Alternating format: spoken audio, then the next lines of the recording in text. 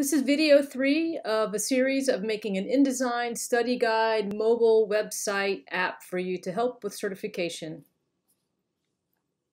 All right, once you've finished getting all your information in this table and having it set up, I want you to um, go ahead and draw a couple of color swatches on this side of your table just to show that you know how to do that. So for digital publications, we're going to draw an RGB square. So go over here and draw a rectangle and then fill it with the RGB red uh, color in the swatches that's already made in there for you. And then hold the alt and shift key to make a copy of it and then change that one to the RGB blue. Alt shift to make another copy and make it RGB green and then we're going to put CMYK swatches down here. Those aren't pre-built in here, so we'll have to um, set those swatches up. So I'm going to hold the Alt-Shift to make an extra square here, but I want to change this to cyan, the first color in CMYK. Go to Window and Open Color and choose CMYK. And then you'll get the CMYK mixer and you just put all these on zero except for cyan. And then you say Add to Swatches and it will add the color to the swatches. And you, you don't have to name it if you don't want to. I had already named some, but you can just leave it like that. Okay, and then do the option or the Alt Shift to make another copy. And we want to make this one magenta. So you're going to click on this to change it to 100% magenta. So you go over here in this mixer, put that on 0, and this put on 100. And then you can say Add CMYK swatch. Say OK, and then again Alt Shift to make a copy. And you're going to click on this color here, and you're going to make it yellow. And add CMYK swatch of that. And then K stands for black. And you're going to click on this again and make the black 100 and the yellow 0 and say OK.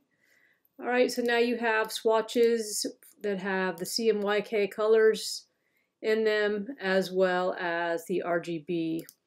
And then the other swatch I want you to learn how to make is a spot color. That's with special pre-mixed ink. So like if you're printing business cards and you have like metallic gold or something printed on your card, uh, that's obviously not something that you can, you know, make a mix for in InDesign. So you would have to make a spot color for that to specify how that works. So the way you can choose a spot color is, we're going to fill this with a spot color. Okay, so go up here to the top and choose this fill color here. And you're going to click on here and say new color swatch.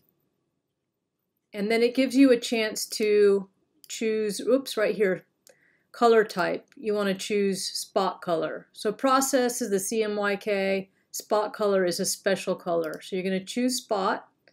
And then the color mode, choose one of these Pantone um, libraries here. Like let's say you're going to make uh, metallic or something, a metallic gold.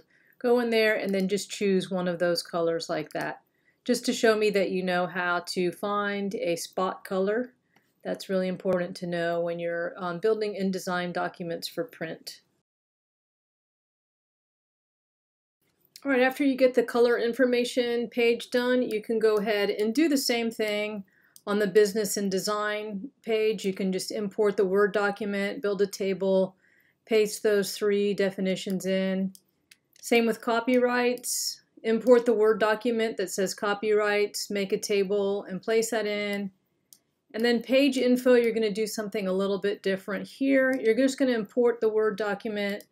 So let's go to place Control D, and we'll find the um, page info document. I'm not going to replace the fonts this time. I'm just going to have it skip it. And I'm going to paste that in like that. And then to get the font to be what I want, I'm going to get my text tool and select all that text and get the eyedropper and put it on the page above that has it the way I want.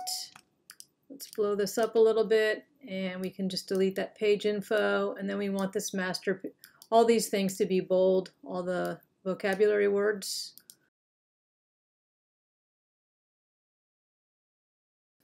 All right, this time we're not going to put these words in a table, and the reason why is I'm going to show you that we are just going to have, some of the words are going to have a diagram to explain what they are. So I'm going to make this text box small so that it ends after frame. All right, that way I only have master page, facing pages, spread, and frame.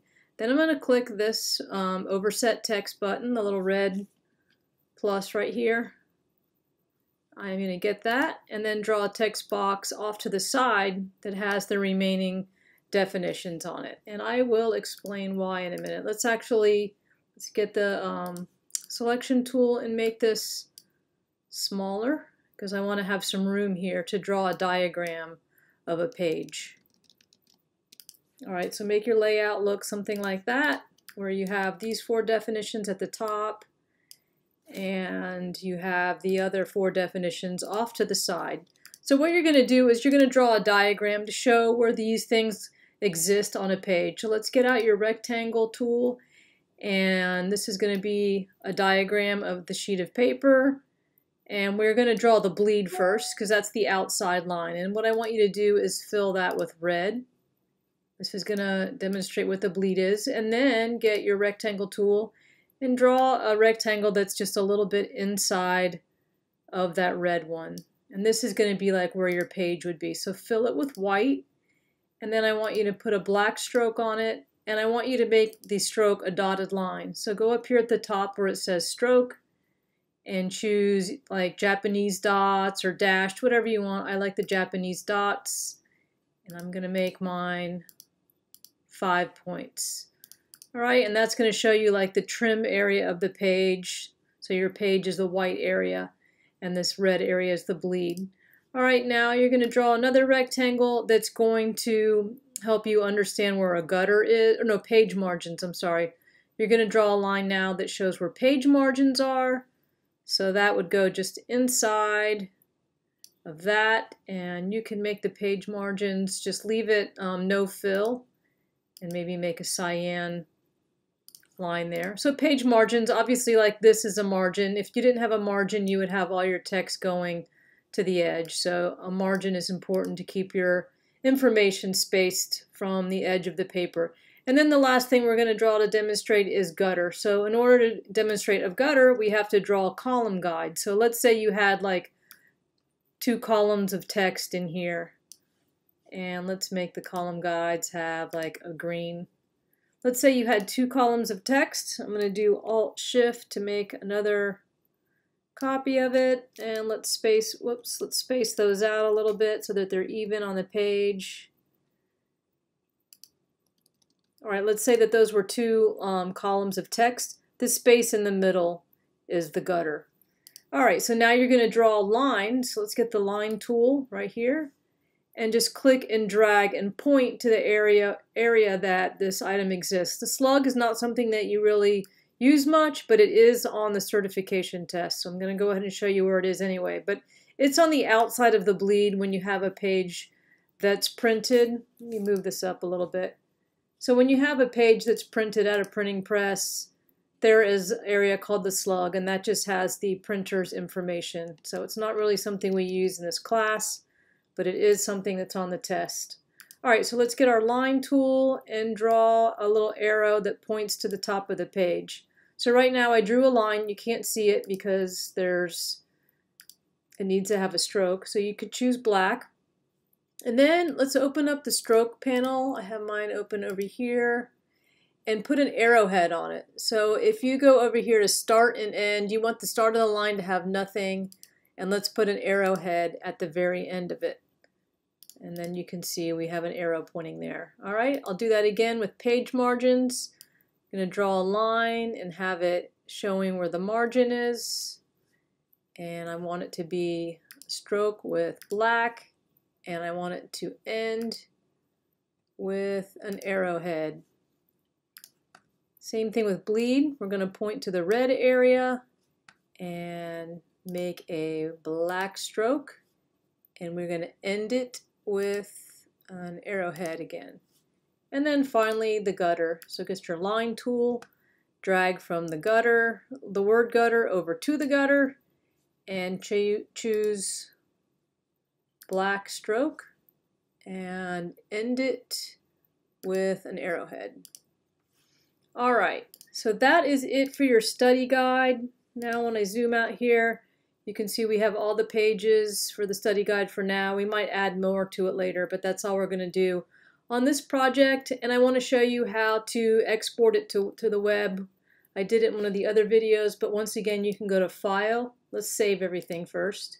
And then go File, um, Publish Online. And I already have this document here. If it's the first time you're publishing it, you can say Publish New Document. I'm going to say Update the existing document and just leave it on all, leave it on single, and say Publish. And yes, I want to update the existing link. And it'll publish in just a minute, and it's going to give me a link to copy, and that's what you're going to give to me. Turn that into your portfolio and let me click on it. So you're going to copy that and we can view the document right now too so you can test it out. So now when we go here we have a little website that has all of your um, definitions and things to help you with your study guide.